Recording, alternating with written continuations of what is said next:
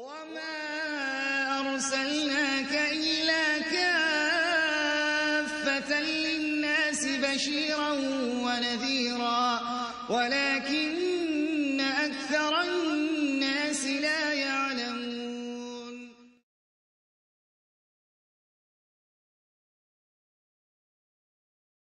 أحسن الله إليكم يقول كيف نفرق بين السكوت عن الفتن المذموم وبين عدم الخوض فيها المحمود. الفتن لا يتكلم فيها إلا أهل العلم والبصيرة ما هو كل يتكلم فيها. إذا تكلم الجهال في الفتن زادت الفتن. أما إذا تكلم فيها العلماء وبينوها فإنها فإنها تطفى بإذن الله. الفتن ما يتكلم فيها كل أحد وإنما يتكلم فيها أهل العلم وأهل البصيرة. الذين يعرفون الحق من الباطل ويعرفون كيف يتكلمون.